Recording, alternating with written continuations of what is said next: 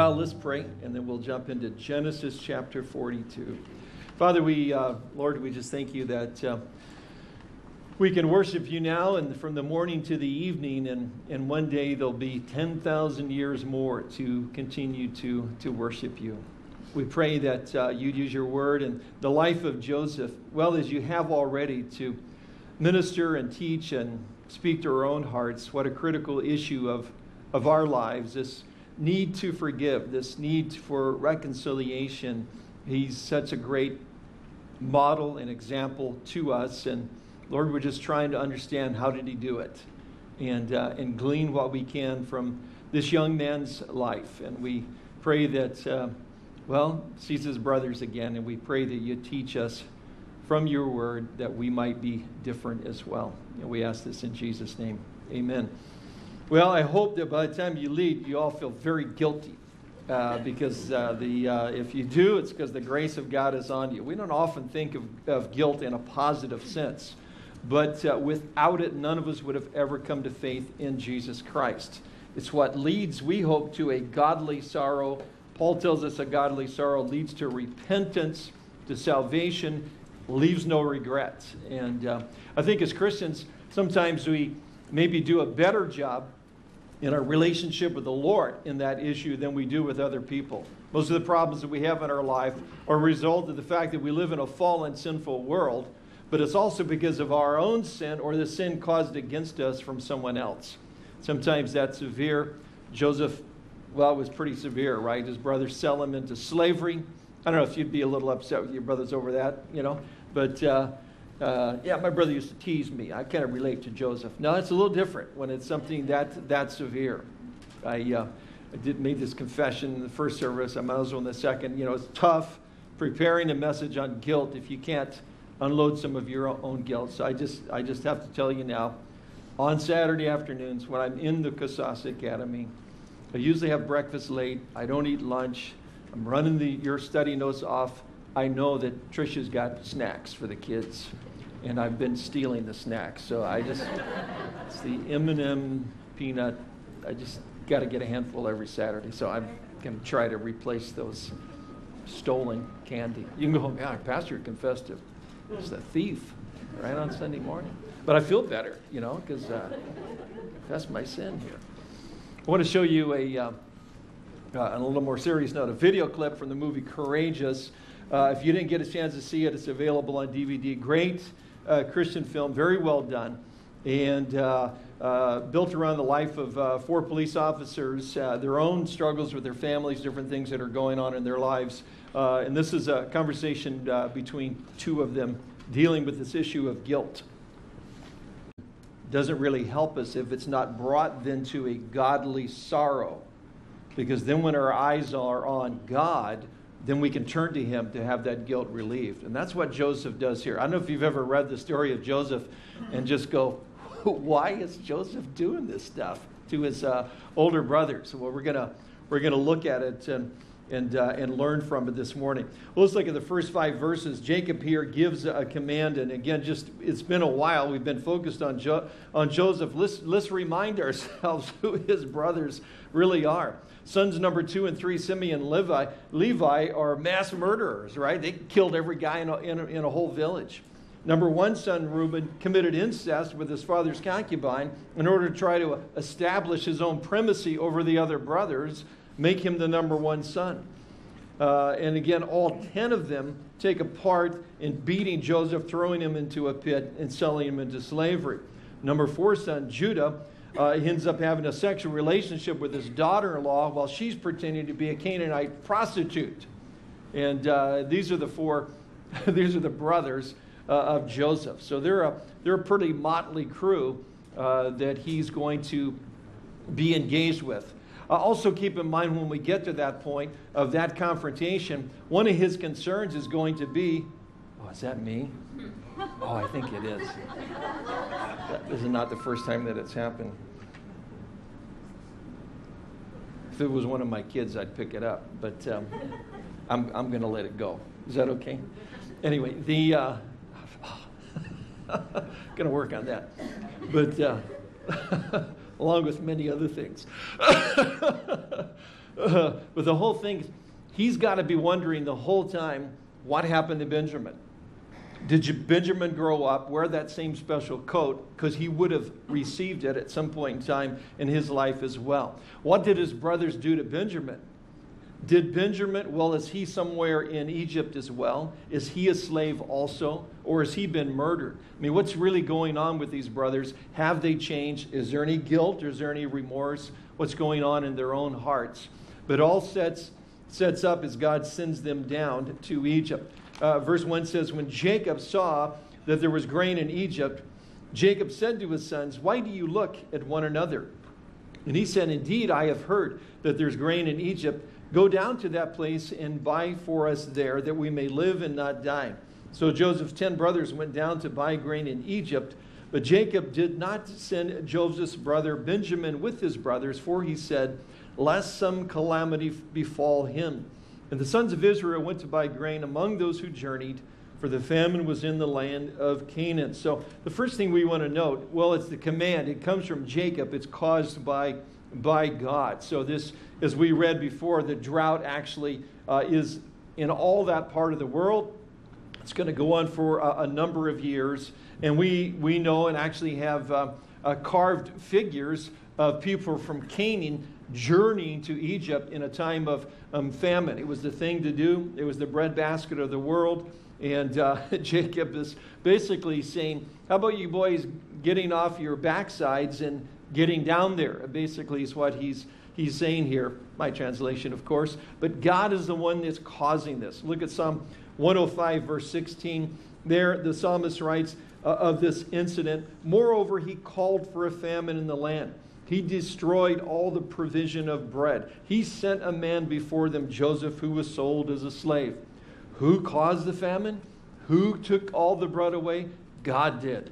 Who sent Joseph down ahead of them? Uh, God did. And then in Acts chapter 7, that we've referred to it before, Stephen before the Sanhedrin, having to give a defense for his faith in Jesus as the Messiah, uh, does a very uh, good thing. If you're Jewish in front of a Jewish crowd, you recite the history of the Jews, which they would all be very interested and very attentive in hearing. And as he does that for a point. He mentions this incident as well in verse 9.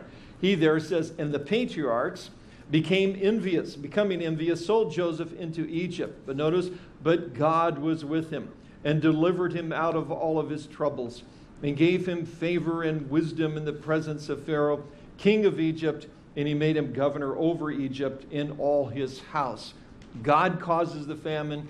God causes the circumstances that would order them down there.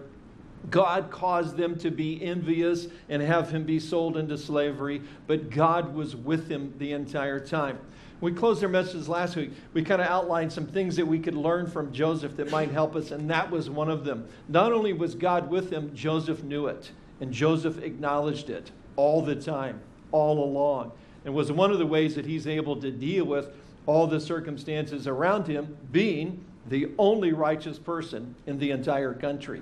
We quoted uh, Ecclesiastes 4 9, that uh, two are better than one because they have a good return for their work. Uh, if one falls down, his friend can help him up. But pity the man who falls and has no one to help him up. Except the fact that that Solomon writing, it's really not totally true because if you're a believer, God is always with you. He is the one that will pick you up. God was always with Joseph. So says Stephen here but God is orchestrating a crisis and it's for a reason. Secondly, the command would include an exception, but Jacob did not send Benjamin. Verse 4 lest some calamity befall him. Kind of like what happened to Joseph, if I want to bring that up again. You really have the sense as we go through this from Jacob, what he says here, what he's going to say later, is that, yeah, the brothers show up.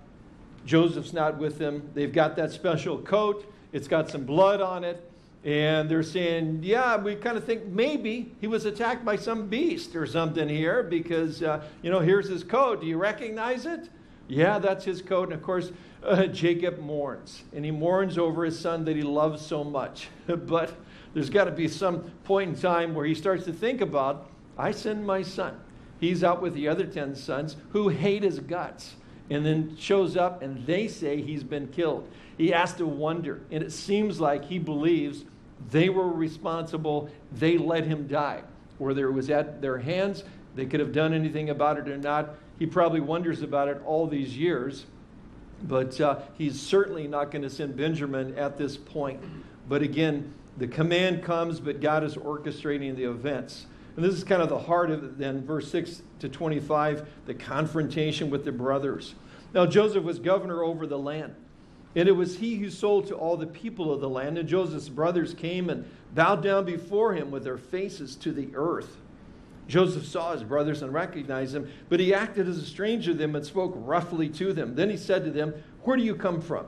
And they said, From the land of Canaan to buy food. So Joseph recognized his brothers, but they, didn't rec- they did not recognize him. Then Joseph remembered the dream which he had dreamed about them and said to them, You are spies. You've come to see the nakedness of the land. And they said to him, No, my lord, but your servant have come to buy food. We are all one man's sons. We're honest men. Your servants are not spies. But he said to them, No, but you've come to see the nakedness of the land. And they said, Your servants are 12 brothers, the sons of one man in the land of Canaan. In fact, the youngest is with our father today, and one is no more. But Joseph said to them, It is as I spoke to you, saying, You are spies. In this manner you shall be tested. By the life of Pharaoh, you shall not leave this place unless your youngest brother comes here. Send one of you, let him bring your brother, and you shall be kept in prison, that your words may be tested to see whether there is any truth in you, or else, by the life of Pharaoh, surely you are spies. So he put them all together in prison three days. Then Joseph said to them the third day, Do this and live, for I fear God. If you are honest men, let one of your brothers be confined to your prison house, but you go and carry grain to the, uh, uh, for the famine of your houses, and bring your youngest brother to me. So your words will be verified, and you shall not die. And they did so. Then they said to one another, We are truly guilty concerning our brother, for we saw the anguish of his soul when he pleaded with us, and we would not hear. Therefore, this distress has come upon us. And Reuben answered them, saying, Did I not speak to you, saying, Do not sin against the boy? And you would not listen. Therefore, behold, his blood is now required of us. But they did not know that Joseph understood them, for he spoke to them through an interpreter. And he turned himself away from them and wept. Then he returned to them again and talked with them. And he took Simeon from them and bound him before their eyes. And Joseph gave a command to fill their sacks with grain to restore every man's money back to a sack, and to give them provisions for the journey. Thus he did for them.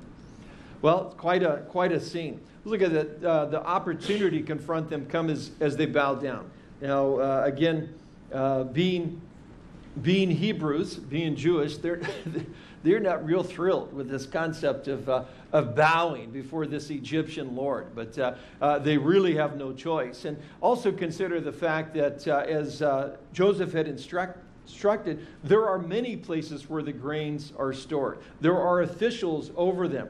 Uh, Joseph is running the whole show. He's usually probably not likely at one of these feeding centers himself, but he's there that day uh, when they approach. Guys with beards speaking in a Hebrew dialect there's 10 of them. Pretty sure I know who these guys are. And of course, he sees them, recognizes them, although much older. Keep in mind, some of these guys are grandfathers now. Some of them are probably in their 60s. Joseph is now 30 uh, uh, something himself. And uh, they do not recognize him. He is thoroughly Egyptian. So he's shaven, he looks like an Egyptian, he speaks like an Egyptian, uses a translator, smells like an Egyptian. Uh, they have no concept. It might have been weighing on their hearts as they traveled to, well, to Egypt, the place they sold Joseph. Would they see him? If they saw him, it'd be a guy in a field, probably weather beaten from the years of, of slavery. Maybe he would be working on a building. They might have been thinking, is he around? Is he down here somewhere? Is he still alive? But they're not looking for him to be the Lord over the land. And they do not want to bow before anyone. Some cultures, that's certainly very, very acceptable. You know, in, Japan, of course, you, you bow when you greet everyone. And, and um, it's, uh, you know, it's interesting. I can uh, you know, recognize the folks from Japan when they're, I see them at the shopping center or at Burger King or something, and all I've got to do is say some greeting to them and just even bow a slight, just a little bit, and I'm going to get the, the uh, proper response back. But that's, that's not true of a bunch of Jewish guys. Notice faces to the ground. This is not a bow. This is like get on your knees and put your face in the dirt, kind of a bow that they're doing to, to Joseph here. And that kind of begins uh, this entire uh, confrontation.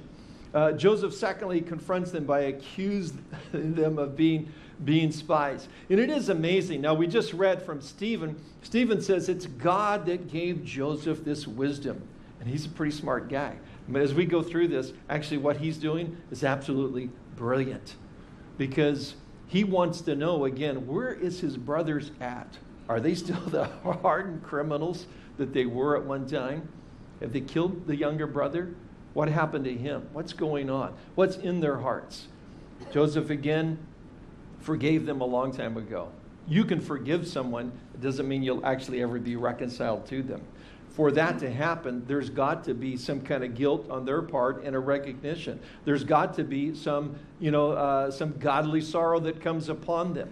Uh, there's got to be some repentance in order for reconciliation. Our part is to forgive and at least to say to God that we're willing if He will work in our hearts.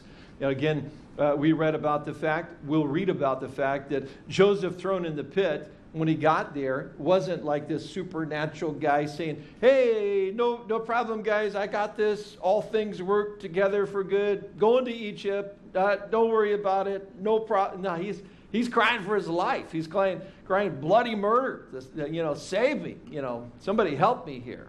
We've also acknowledged that he does process all of this uh, and he trusts that God is with him. Everything's happening for a reason. And it's not only into the household of Potiphar, but later into the dungeon. Not only that, for two more years after he translates or interprets the dreams of the butler and the baker. Is an amazing young guy.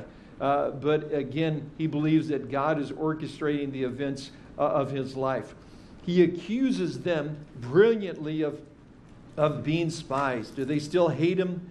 Uh, and is there a way of ascertaining the truth? So, thirdly, he confronts them by demanding to see the younger brother. So, in the midst of the inter- interrogation, he remembers certainly he has to think about the two dreams. The first dream where all of his brothers would bow before him. And here he is in Egypt all the years later. There's his brothers. They're all on their face in the dirt before him. But it's not the dream being fulfilled because there's someone missing. It was all of his brothers, and there's only 10. Again, so where is Benjamin? And so he needs to find out. And so he begins to question about the younger brother. You're spies. You've come to see the nakedness of the land, which we know from uh, our archaeological findings that uh, it was a big concern among the Egyptians. They had a lot of gold. They had a lot of gold. Uh, they had a lot of wealth uh, in, uh, in that part of the world. Uh, they had the grain. They had the storehouses. They had the food of the world. There was a lot that they needed to defend. And what we also know, and it was well known then, if you were caught as a spy, spy you were immediately executed. So when he says, You're spies, he had their attention, right? Right there. He had their, uh, their attention.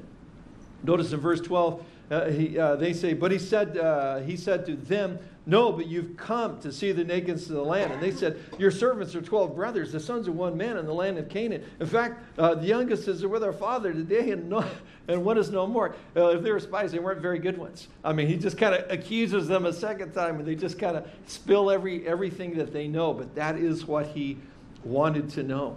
Uh, did they have a conscience? Uh, and was it coming alive? The other thing about this is interesting is what he's doing to them is what they did to him. Now remember, they oppressed him all the time. He is oppressing them now.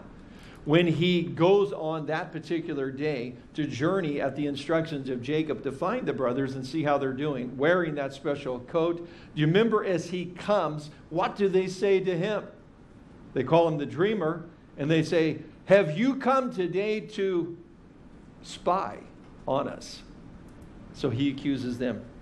I think you're the spies. Interesting. He, he flips the whole thing around. He now oppresses them. He now accuses them of being uh, a spy. They threw him into a pit. He'll throw them into a prison. for three days, just to give them a little time to, to think it over. Verse 16, and he says to them, just to turn up the heat a little bit, send one of you and let him bring your brother, and you shall be kept in prison, that your words may be tested, to see whether there's any truth in you or else by the life of Pharaoh, surely you are spies. So he put them together in prison for three days. And they all know, of course, that Jacob's just going to be really thrilled at this. If one of them shows up and goes, Oh, hey, Dad, good to see you again. I just need to take Benjamin because the guy who's holding the other guy's in prison. And, uh, but I think he's a good guy. I think he's a good guy. We just got to show up with Benjamin. It'll be okay. I'll just be leaving. that, that it's not going to happen. They know it's not going to happen. So they pretty much are thinking that. Uh, I better, we better be sending our prayers here or something because, uh, you know, we're, we're in big trouble. This guy is going to execute us. There's no way we're going to get Benjamin down here. And it gets them all thinking. Again, one writer said Joseph had brilliantly messed with their minds and their hearts. and, uh, and there'd been a little going on in their hearts and minds for a number of years. He comes back and he stuns them with two things. First, he stuns them in verse 18 when he said, Then Joseph said to them on the third day, do this and live, for I fear God. And the word that he uses, Elohim, Ha Elohim. He uses the Hebrew name for God. You know, they're probably saying, well, amen. That's, that's the first good thing we've heard, heard in three days. This guy fears God. Uh, but that had to be shocking to them. There's no way they're putting this together that this is Joseph. But it certainly had to get them thinking about that God and where was he uh, at that moment. The second thing he does is he shocks them by saying, I tell you what I'm going to do.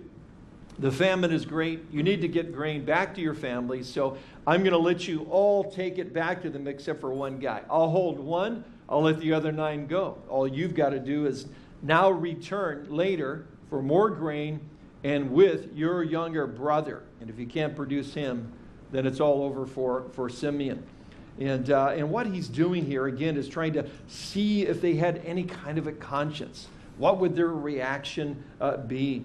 The third thing, uh, and most importantly, or fourth thing about this is the confrontation. We see it does produce a guilty conscience. His strategy does work. Verse 21 Then they said to one another, We are truly guilty concerning our brother, Joseph. For we saw the anguish of his soul when he pleaded with us, and we would not hear. Therefore, this distress is come upon us. And of course, Joseph is uh, listening to all of this, and he notes a couple of things. They no longer refer to him as the dreamer, now he's our brother. Reuben refers to him as the boy. Things are a little different. He also learns that Reuben was trying to save his life. Reuben was saying, Don't do this. Uh, it's a mistake. He, he didn't know that before. He also learns that these macho, unfeeling brothers were not quite as hardened as they were uh, 17 years before that. In fact, they had heard his words. They heard everything he said, they heard his cries, and they remember it. And probably those words and his cries have echoed in their hearts and minds now for over a decade. And most importantly, they believed that the distress had rightfully come upon them. This is our fault. It's the guilt of grace. Grace had come upon them enough to recognize what they did was wrong. And they might have remembered the words of their great, great, great, great grandfather who said this Whoever sheds the blood of man, by uh, man shall his blood be shed for God made man in his own image. And that was Noah. And they certainly would have known those words. Again, true guilt is a grace because it brings the guilty to seek forgiveness uh, and to repent. Is there such a thing as unhealthy guilt? Sure. People use guilt to manipulate people all the time. Uh, children that go through a divorce uh, often feel guilty over it, feel that it was their fault. It's very common. That's, that's, not a, that's not what we're talking about here. We're talking about a godly guilt where you recognize that you're responsible for things that you've done in your life. Like the guy in the video clip, there then is a recognition, and because it then is combined with a godly sorrow, then there's a God that I can cry out to to do something about my guilt. Verse 23 at the end it says, They did not know that Joseph understood them, for there was an interpreter between them. Then he turned away from them and wept. We've also talked about the typology of Joseph, how he makes a, a great picture uh, or parallel or example of Jesus Christ himself, betrayed by his brothers, becomes the Savior of the world, looks upon the sins of others and now, and now weeps. And we think of those words in John of, of Jesus the same way. So, again, moved by their expression of guilt and remorse, Joseph can't control himself. Uh, and, uh, and at this point, he brings a second test to them. Verse 24 at the end, then he returned to them, talked with them, and he took Simeon from them and bound him before their eyes. Then Joseph gave a command to fill their sacks with grain, to restore every man's money to a sack, and to give provisions for the journey. Thus he did for them. Chrysostom, one of the early, I'm talking really early church leaders, wrote this about Joseph. He says, See how Joseph takes every means of putting fear into them, so that on seeing Simeon's bonds, they may reveal whether they manifested any sympathy for their brother. You see, everything he does is to test their attitude out of his wish to discover if they had been like that in dealing with Benjamin. Joseph also had Simeon bound in front of them to test them carefully to see if they showed any signs of affection for them. In other words, are they going to look at Simeon and go, Okay, then. Sorry, bro. I uh, hope things work out here for the career in Egypt because we're not coming back, man. Are you kidding me? This guy kill all of us. You know, it's like, sorry. You know, Th- that was the brothers of 20 years ago, the mass murderers, right? I mean, it's like, hey, we, we there's, uh, there's a, you know, still 11 of us. So, hey, lose one more, not too bad. Uh, uh, you know, those guys would have just been out of there. But that's not their attitudes. Uh, he binds his hands in front of them, and he's watching, he's observing. Uh, what will they be like? How will they treat him? What will they say? What will be their response? Well, this gets us to uh, the third thing here the difficult choice for Jacob and his sons to make, verse 26 to 38, as they head back. So they loaded their donkeys with the grain, departed from there. But as one of them opened his sack to give his donkey feed at the encampment, he saw his money. And there it was in the mouth of his sack. So he said to his brothers, My money has been restored, and there it is in my sack. Then their hearts failed them, and they were afraid, saying to one another, What is this? Notice that God has done to us. Verse 29. Then they went to Jacob their father in the land of Canaan, told him all that had happened to them, saying, The man who is Lord of the land spoke roughly to us, took us for spies of the country. But we said to him, We are honest men. We are not spies. We are twelve brothers, sons of our father one who is no more, and the youngest is with our father this day in the land of Canaan. Then the man, the Lord of the country, said to us, By this I will know you are honest men. Leave one of your brothers here with me, take food for the famine of your household, and be gone. But bring your youngest brother to me. So I shall know that you are not spies, but you are honest men. I will grant your brother to you, and you may take trade in the land. Then it happened as they emptied their sacks that surprisingly each man's bundle of money was in his sack. When they and their father saw the bundles of money, they were afraid. And Jacob, their father, said to them, You have bereaved me. Joseph is no more, Simeon is no more, and you want to take Benjamin? All these things are against me. Then Reuben spoke to his father, saying, Kill my two sons if I do not bring him back to you. Put him in my hands, and I will bring him back to you. But he said, my son shall not go down with you, for his brother is dead, and he is left alone. If calamity should befall him along the way in which you go, then you would bring down my gray hair with sorrow to the grave. So they returned to Jacob uh, in fear because they found money in one of the sacks. And uh, they're not thinking they won the lottery. Uh, in fact, they're probably thinking, great, now we're really being set up. He's going to accuse us not only of being spies, but of being thieves as well. But notice this very important line what is this that God has done to us? Finally, for the first time in the entire narrative, the brothers mention God, and they mention him uh, by name. It's the turning point for them because now we have this combination of a healthy, a godly guilt with a godly fear. They're getting close to know who to turn to to deal uh, with their lives. Fear is one thing, godly fear comes from a sensing that a holy God is at the hand of your circumstances around you. And often, well, often we don't make that connection. often as Christians we don't make that connection. Certainly, people around us don't make that connection. It's interesting. In other parts of the world, they do. Uh, first trip that I was uh, in uh, in India, I think it was the first trip or the second. There was a super uh, typhoon that hit Orissa, a big country. Didn't bother uh, us where we were located, but it did tremendous destruction the people that lived in that area, what was said in interviews on the newspaper uh, and on television and radio in that area, all reflected that the people in that area assumed that because that happened to them, it was so powerful, it had to be caused by God. And if it was caused by God, it had to be for a reason. They assumed the reason was this. The year before, when a missionary family who had been in India for a number of years, was driving uh, down, the car, down the road to get supplies. The guy and his uh, couple of sons with him, uh, they were surrounded by a bunch of Hindu fanatics. What were they con- so concerned about? They didn't like the idea that they worked in a leper colony where they ministered to the lepers and showed them the love of Jesus Christ uh, and led them to the Lord. That was the big thing that upset them that they did. So they surrounded the car, lit it on fire, and burned them to death. So now, a year ago, when a super typhoon hits, they assume that it is so destructive, it's caused by God. And if it's caused by God, it's for a reason. And that reason must be because we sinned against the Christian God. Pretty good deduction for a bunch of guys uh, in, uh, in India. People here don't always make that connection.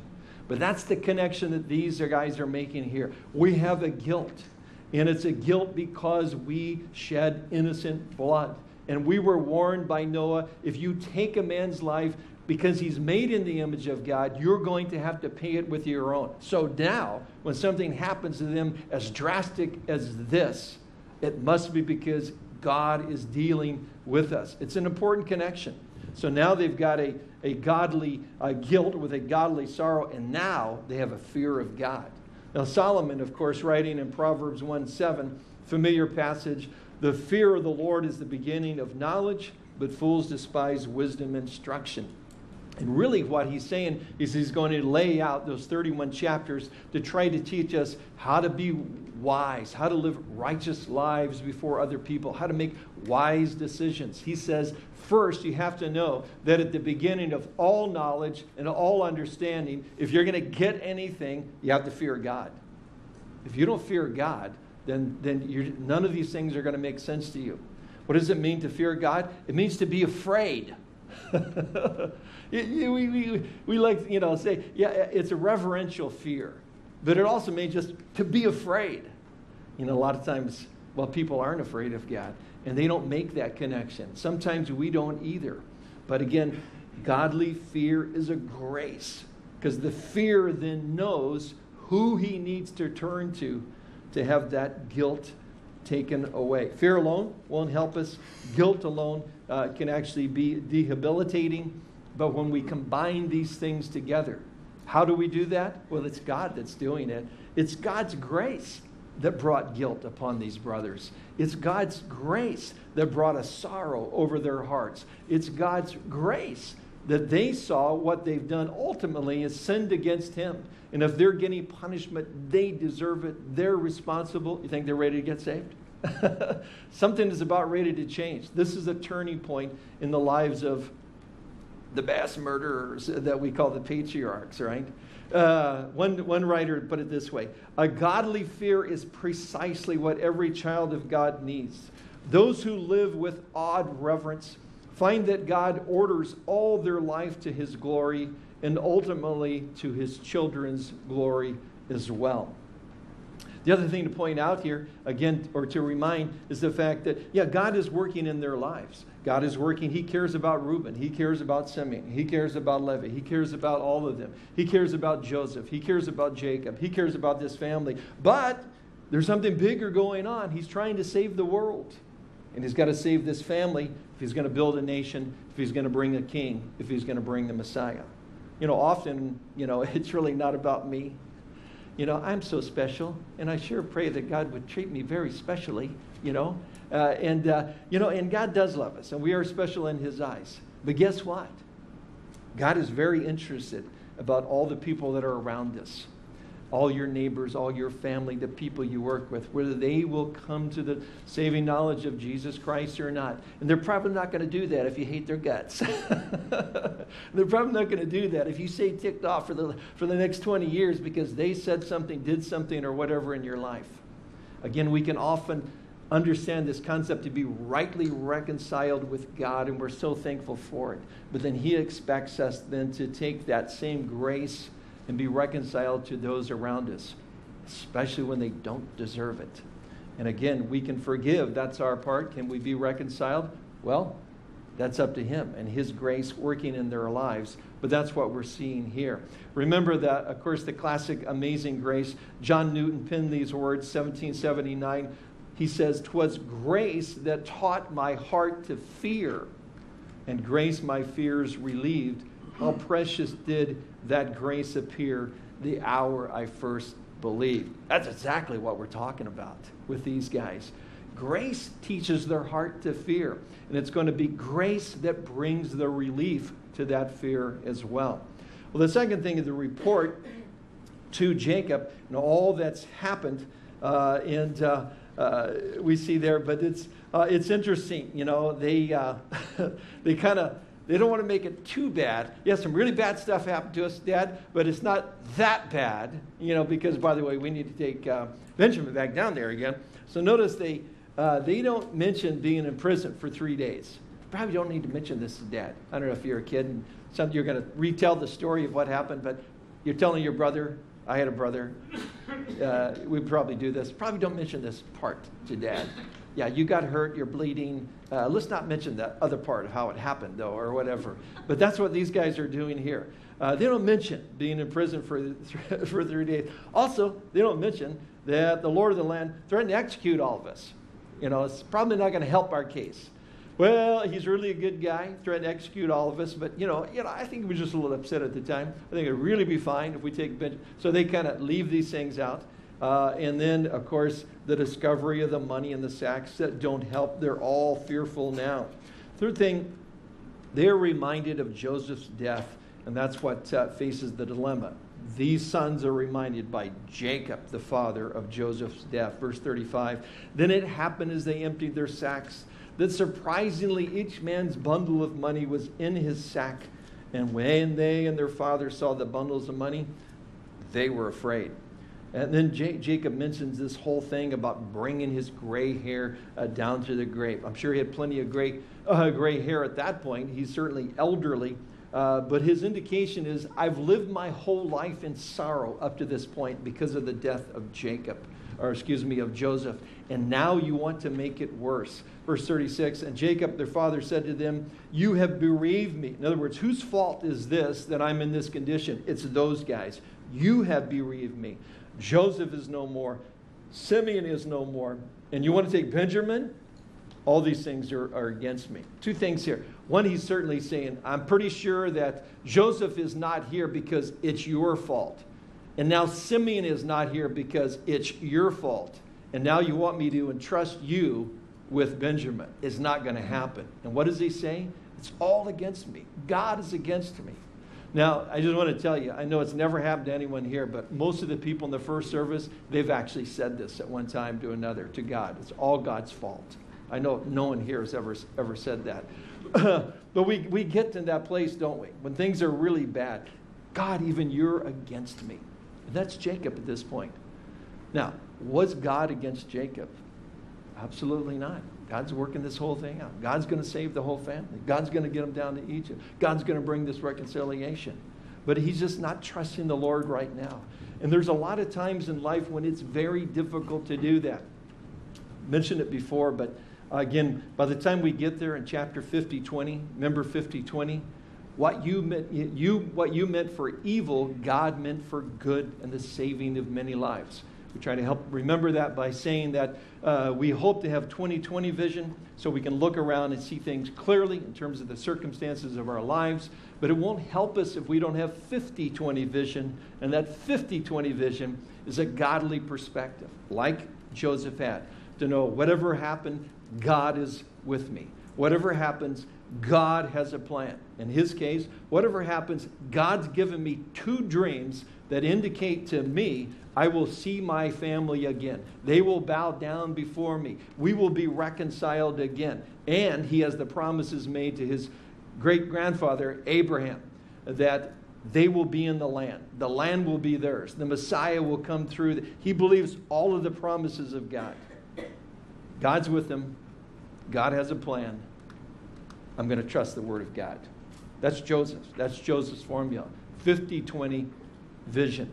What you meant for evil, God meant for good. The brothers aren't quite there yet, but God, in His grace, is working in their lives.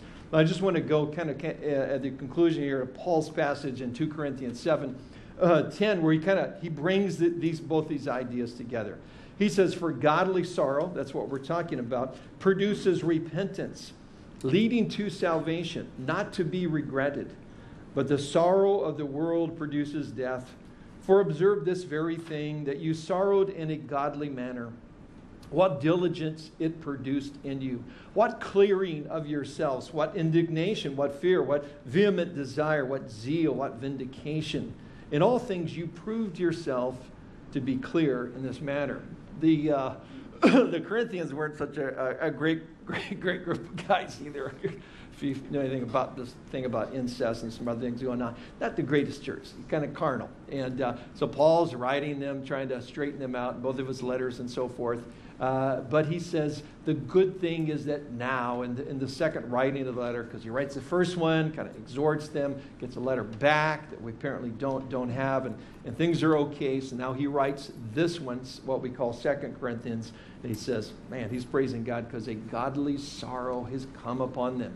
And what did that do? It produced in them repentance that leads to salvation. And certainly, that's what Joseph is hoping for as well pretty amazing, isn't it? I mean, he just, one day he's doing what he does every day, tremendous responsibility over the entire country. He shows up and boom, there's his 10 brothers. What do you say? You're spies. it's, it's pretty brilliant.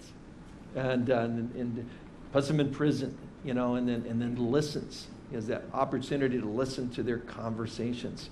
Again, we'd say Israel's patriarchs would never become choir boys, always imperfect but uh, they're changing at this point because of one, guilt, their admission of guilt, an acceptance of responsibility that we all need to come to. Uh, again, a real guilt, a godly guilt. It leads to forgiveness. Fear, not just uh, fear of the unknown, but a godly fear. A realization that God is actually in control and actually afflicting them because they've never repented of their sins and then a sorrow, a godly sorrow that paved the way for repentance. And that's what God wants to do in all of our lives as well. He wants to teach us through the life of Joseph, I think, like no other character in the Bible. I don't know another story that we could learn so much about this issue of forgiveness. Is this a big issue? Uh, what does the New Testament say about bitterness? It's like a root uh, that's uh, in, in your heart. And the writer of Hebrews says about it don't let anyone miss the grace of God because of, of bitterness. I like the Damian Kyle line that says, uh, bitterness has the shelf life of a Twinkie. Of course, you have to know what a Twinkie is to kind of get that, maybe, but uh, it seems to be able to hang around. A lot of preservatives, you know. You can, some of those Twinkies have probably been on those shelves for 20 years, but uh, still there. But uh, still look the same. That's bitterness because somebody sinned against us and we never forgave them. Will we be reconciled to them? By God's grace, working in them, but it's our part to at least say to God, I'm willing. Please work in my heart because I want to, well, like Joseph, to be able to be used by you and to keep my sights on the fact that you're with me, you have a plan for me. Help me to trust your word and your promises and have that 50 20 vision. Amen. Let's pray.